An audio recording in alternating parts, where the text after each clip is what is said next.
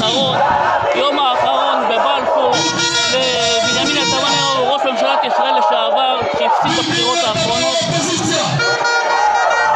ואיזה סימביולי זה, כולם פה חילונים וכולם פה דתיים מהצד השני. איזה ענק הקטע הזה.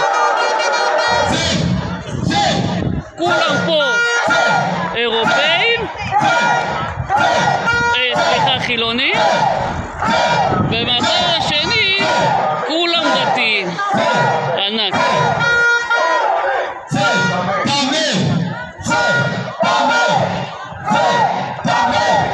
ופה התקשורת עומדת. זהו, אנחנו בבלפור, היום האחרון, ה-11 ליולי 2021. ביבי, משפחת נתניהו כבר לא יהיו פה. לאזרח מסוג אחר שלובש מדים כתומים. אנחנו רוצים להזכיר לך מה אין לך ומה יש לך.